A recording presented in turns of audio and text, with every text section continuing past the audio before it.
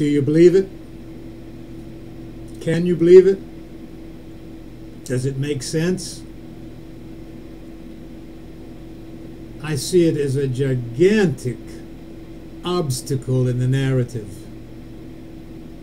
Something inexplicable has been introduced into creation by the Lord God. And man's very existence is dependent on how he relates to this phenomenon of the tree of knowledge.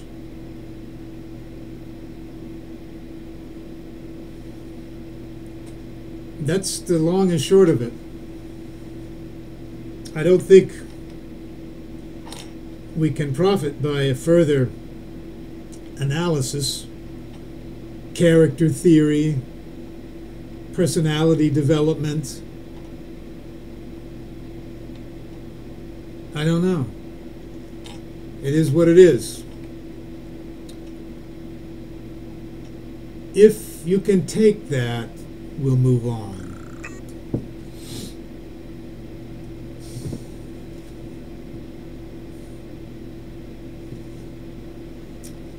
What happens next?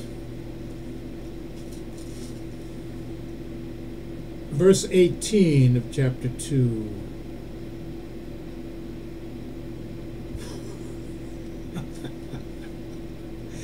and the Lord God said, It is not good that the man should be alone.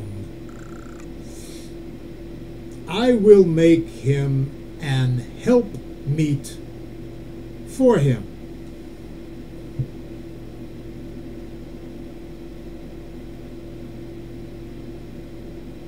This is out of control.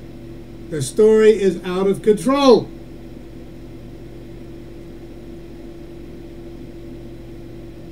It is not good that Adam should be alone. Now, this is the commentary on the sixth day. This is commentary on verses of uh, chapter 1. Okay, we know that.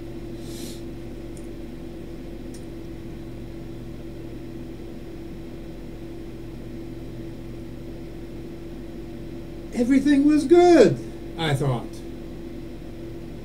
Behold, it was very good. Well, of course, Eve the woman was created on the sixth day. And so when verse uh, uh, when chapter 1 ends, she's already part of the picture. But in this commentary, God creates her after man, after the male, because ah, it's not good. Being alone is not good. So here's your first social norm for all you uh, independents out there. Uh, the design of man was not complete until woman was created. In other words, uh, it sounds as though Adam, the design of Adam was not finished.